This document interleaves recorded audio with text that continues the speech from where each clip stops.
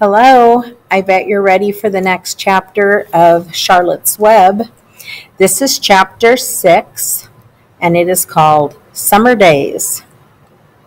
The early summer days on a farm are the happiest and fairest days of the year. Lilacs bloom and make the air sweet, and then fade. Apple blossoms come with the lilacs, and the bees visit around among the apple trees. The days grow warm and soft. School ends and children have time to play and to fish for trout in the brook. Avery often brought a trout home in his pocket, warm and stiff and ready to be fried for supper. Now that school was over, Fern visited the barn almost every day to sit quietly on her stool. The animals treated her as an equal. The sheep lay calmly at her feet.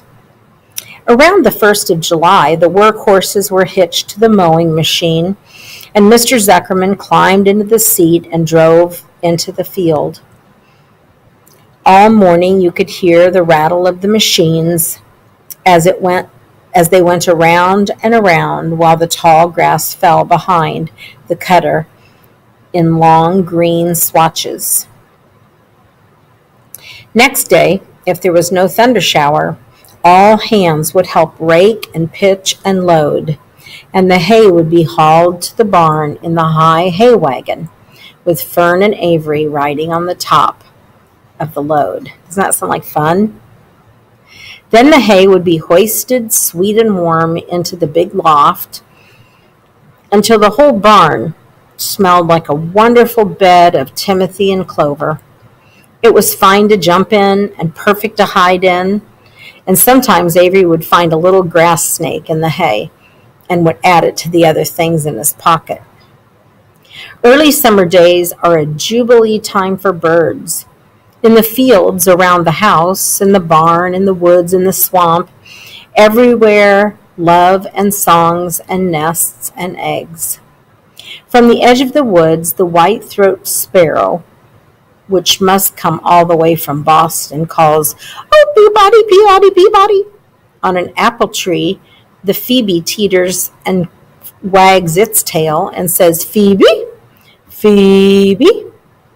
The song sparrow, who knows how brief and lovely life is, says, Sweet, sweet, sweet, sweet, sweet, sweet. If you hear the barn, or enter the barn, I'm sorry, the swallows swoop down from their nests and School chirka, chirka, chirka. In early summer, there are plenty of things for a child to do, and plenty of things to eat and drink and suck and chew.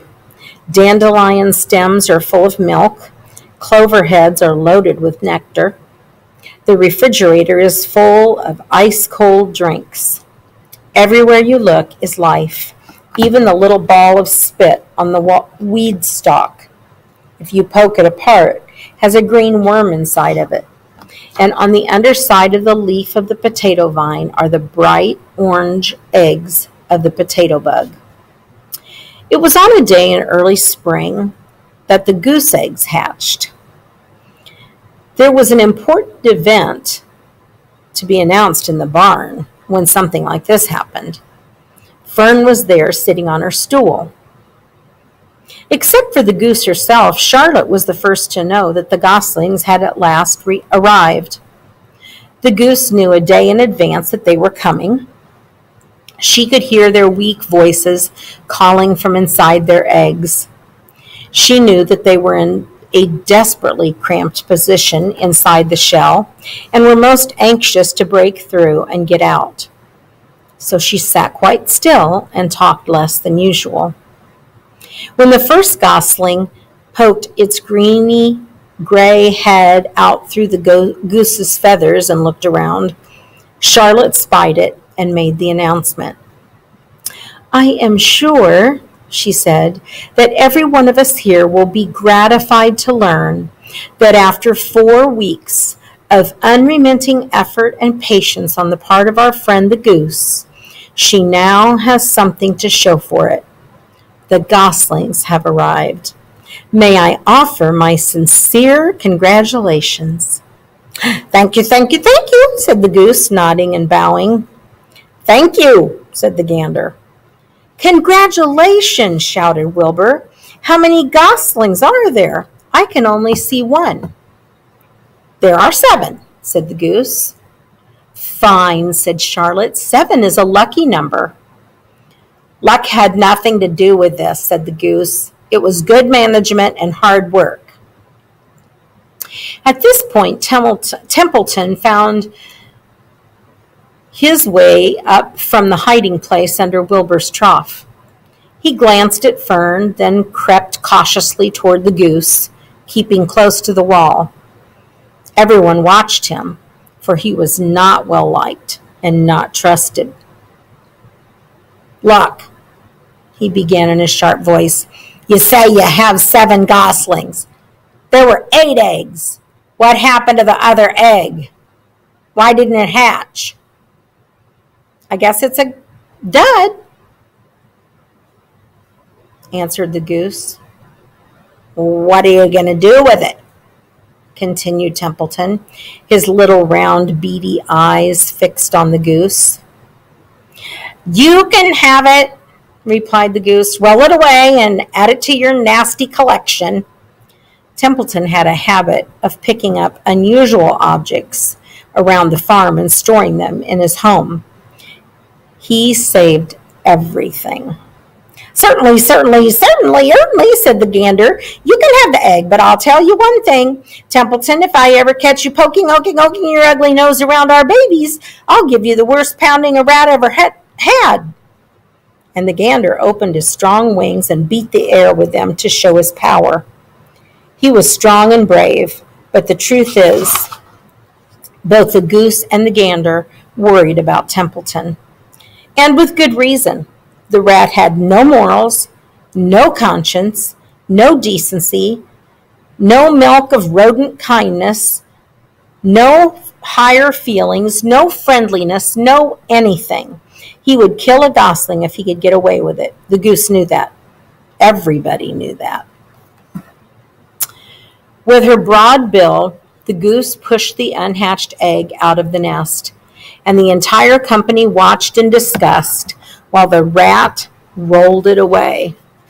Even Wilbur, who could eat almost anything, was appalled. Imagine wanting a junky old rotten egg, he muttered. A rat is a rat, said Charlotte. She laughed a tinkling little laugh.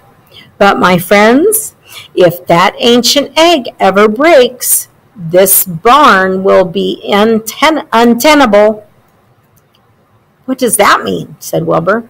It means nobody will be able to live here on account of the smell. A rotten egg is a regular stink bomb. I won't break it, snarled Templeton. I know what I'm doing. I handle stuff like this all the time. He disappeared into his tunnel pushing the goose egg in front of him. He pushed and nudged till he succeeded in rolling it into his lair under the trough. That afternoon, when the wind had died down and the barnyard was quiet and warm, the gray goose led her seven goslings off the nest and out into the world. Mr. Zuckerman spied them when he came with Wilbur's supper. Well, hello there, he said, smiling all over. Let's see. One, two, three, four, five, six, seven. Seven baby geese. Now, isn't that lovely? And that's the end of this chapter.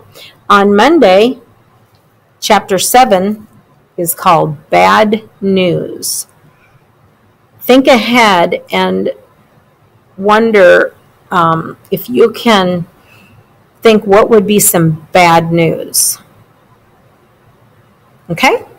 All right. Have a wonderful weekend. Bye.